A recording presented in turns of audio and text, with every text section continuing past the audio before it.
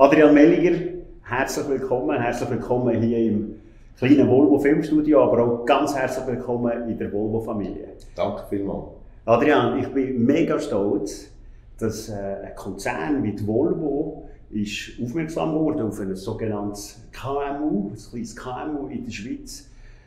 Was bedeutet das für euch?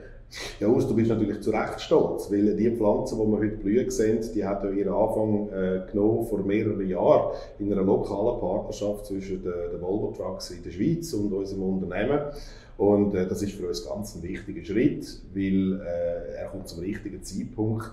Design ist sehr stark gewachsen in den letzten paar Jahren und dass wir jetzt die beiden Stärken von den Unternehmen verbinden und äh, etwas daraus schöpfen, ist natürlich ideal. Ja, du redest von, von Stärken von beiden Unternehmen. Die Volvo produziert jetzt auch Elektrofahrzeuge. Wieso hat jetzt die Volvo noch ein weiteres Unternehmen übernommen und wieso nur 60 Prozent und nicht 100 Prozent? Ja gut, also wo Volvo gut ist, sind wir nicht gut und umgekehrt, weil Volvo äh, kann natürlich viel besser als wir im grossen Volumen produzieren. Und im Gegensatz dazu ist unsere Stärke ganz klar in der Nische. Wir können jetzt schon, wir haben jetzt schon Trucks auf der Straße, wo äh, Spezialtrucks sind, Fünfachser mit Nebenantrieb, Betonmischer beispielsweise. Und das ist das, was wir gut können. Ja. Du redest von Spezialfahrzeugen. Ist der angedenkt, dass es in Zukunft nur Volvo Trucks gibt? Oder gibt es auch Zusammenarbeit mit anderen Divisionen in unserem Konzern?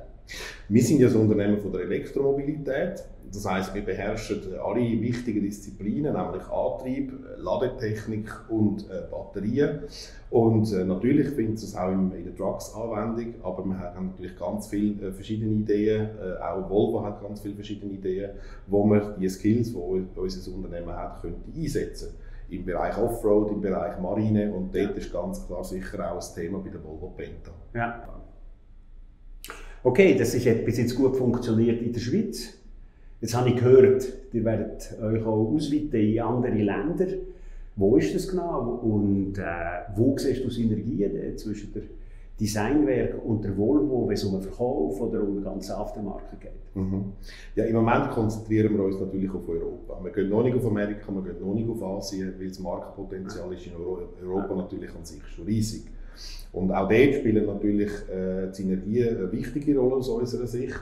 Wir haben ein paar ganz interessante Länder, wo im Moment Elektromobilität einen richtigen Aufschwung auch erlebt. Ich denke nach Deutschland, ich denke nach Holland, ich denke nach Belgien und natürlich ganz Skandinavien. Ja. Und dort wäre für uns natürlich der Wunsch und wäre sehr wichtig, wenn wir könnten die Erfahrung, die Volvo mitbringt im Bereich Vertrieb, aber auch After Sales, ja. könnte verbinden, kombinieren. Ja. Äh, es klingt mega spannend. Wir sind definitiv in der Transformation angekommen, würde ich sagen. Wo siehst du generell die Zukunft von der Elektromobilität?